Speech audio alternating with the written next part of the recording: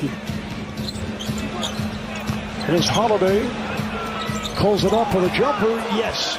And that's why he's so important to this ball club. Inside, and then right here, just taking advantage of the mismatch. Holiday gets to his spot in the mid-range, always under control.